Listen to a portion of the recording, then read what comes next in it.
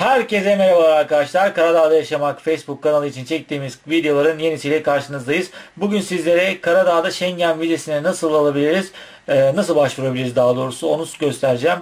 E, Türkiye'den Schengen vizesi almaktansa Karadağ'dan Schengen vizesi almak çok daha kolay. Bir kere bunu söyleyelim. E, Yunanistan'la Karadağ arasında siyasi ve ticari olarak mükemmel bir uyum var, anlaşmalar var. Yunanistan Karadağ'ın Avrupa Birliği sürecini sonuna kadar destekliyor. Ee, ve Yunanistan'a kalsa iş bugün girsinler Karadağ Avrupa Birliği'ne. Evet e, bu kadar sevdiği bir ülkeyi koruyup e, kolluyor tabii ki de Yunanistan. Ve e, vize konusunda da hiç sıkıntı çıkarmıyor. Onu söyleyelim başta. E, belgeleriniz tamsa yani çok rahat Karadağ'dan uzun süreli vize alabilirsiniz. Ne gerekiyor bunun için? Bir şirketinizin olması gerekiyor Karadağ'da. E, bu şirketinizin ve oturum kartınızın da olması gerekiyor tabii ki de e, bu şirketinizi ve oturum kartınızı e, sunduğunuz takdirde kolayca e, uzun vadeli Schengen vizesini alabiliyorsunuz. Şimdi bakalım detaylı inceleyelim. Ne var ne yok. Şimdi e, ben altta açıklama kısmında linki vereceğim. Yunanistan Büyükelçiliği'nin Podgorica'daki. Şimdi burada e, Yunanca yazıyor tabii ki de. Karadağ'da seçeneği de var. Bakalım. Aynen böyle daha iyi olur. Ya, burada İngilizce oluyor en azından. Biraz daha anlaşılabilir. Şimdi şöyle bakalım arkadaşlar. Bir saniye. Tamam. Şimdi e, şurada konsolosluğun açık olduğu saatleri yazıyor. Pazartesiden e, Cuma'ya kadar saat 10 ile 1 arasında e, çalışma saatleri yani günde saat e, 11, 12, 1, 3 saat çalışıyorlar. 3 saat içinde e, başvurabilirsiniz. Schengen vizesi için e, gerekli belgeler nelerdir? Hemen onları söyleyelim. Bir kere diyor ki e, şahsen başvurmak zorundasınız. Yani aracıyla başvuramıyorsunuz. Şahsen kendiniz gidip başvurmanız gerekiyor. E, gerekli belgeler bir başvuru formu diyor. Evet, şuradan indirip bu başvuru formunu doldurmanız yeterli. Orada pasaport bilgileriniz, işte hangi gün seyahat edeceksiniz, çoklu vize mi istiyorsunuz vesaire vesaire gibi bilgiler yer alıyor. Yani normal Türkiye'deki Schengen e, vize formuyla aynı form. O formu dolduruyorsunuz arkadaşlar. Doldurması gayet kolay. E, o formu doldurduktan sonra şurada geçerli bir seyahat belgesi diyor B maddesinde. Ee, geçer seyahat belgesi dediği mesela Yunanistan'a ne zaman gideceksiniz? Hangi yolla gideceksiniz?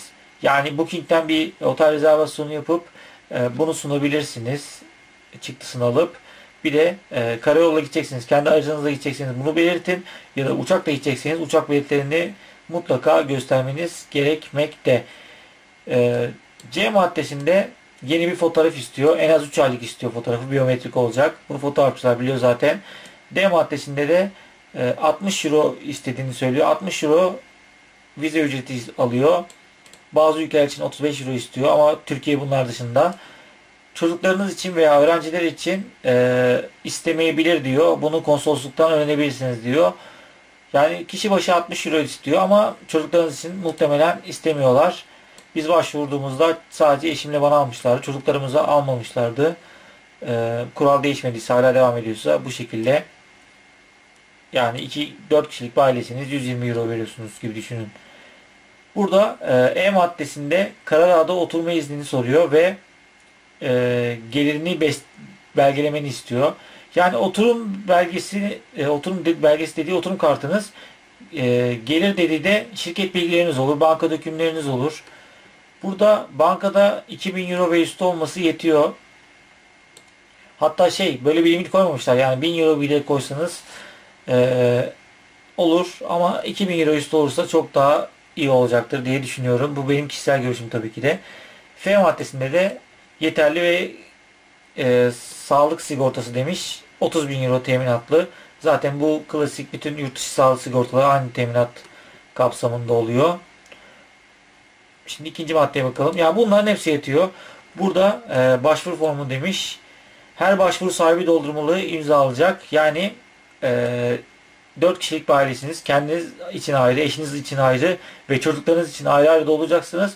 Çocuklarınızınkini eşiniz ve siz e, imzalayacaksınız altında. İkinizin de imzası gerekiyor. Seyahat belgesi e, burada ne diyor? Seyahat belgesi yani pasaporttan bahsediyor burada. En az 3 e, aylık diyor ama 1 senelik yani pasaportunuzun bitiş süresine 1 sene kalması çok daha iyi olacaktır. En az 3 ay diyor ama 1 sene olması bir sene olmasını istiyor çoğu yer. Ya sırf 5 ay kaldı diye alamayan arkadaşımız var. Tabi bu Türkiye'den de Karadağ'da daha farklı olabilir. Ee, en az 3 ay kalmış bitimine olması gerekiyor e, pasaportunuzun. En az 2 boş sayfası olması gerekiyor. Ve pasaportunuzun e, 10 yıldan eski olmaması gerekiyor. Zaten e, genelde Türkiye'de pasaportlar en fazla 10 yıllık alınabildiği için e, bu kural otomatikmen devre dışı olur. Evet burada dördüncü maddede ne sunmanız gerektiğini söylüyor. Karadağ'da yasal ikametgah diyor.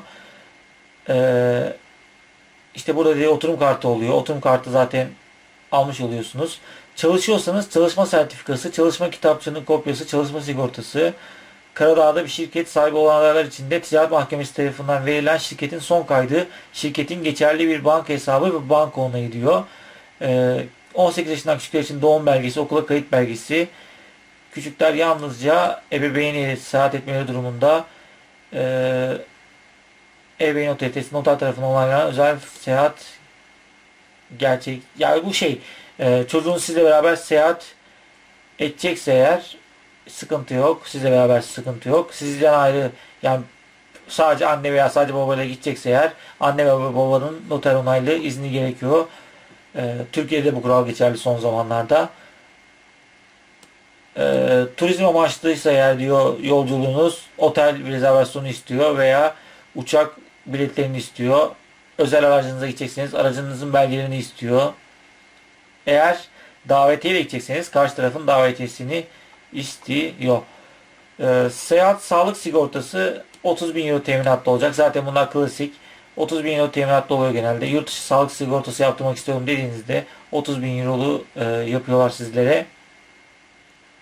Onun dışında e, bakalım şurada önemli bir şey yazıyor mu?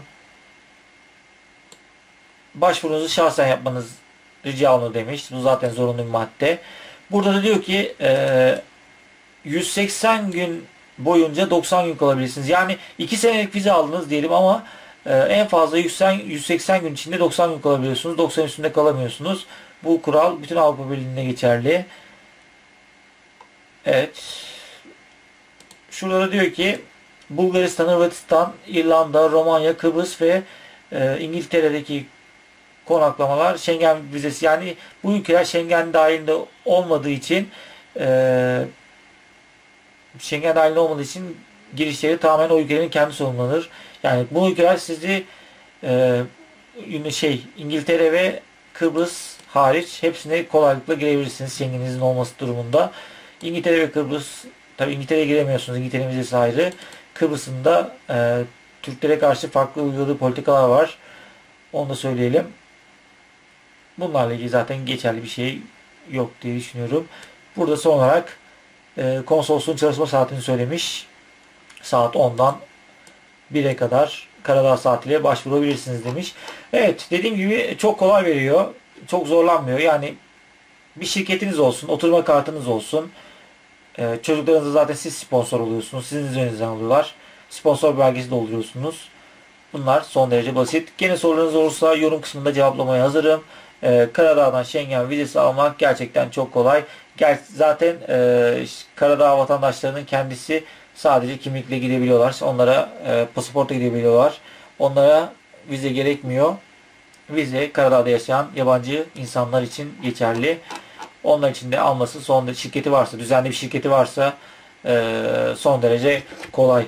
Videomuzu burada sonlandıralım. İzlediğiniz için teşekkür ederiz. Ee, YouTube kanalımıza abone olup videolarımıza like atarsanız çok seviniriz. Herkese mutlu akşamlar.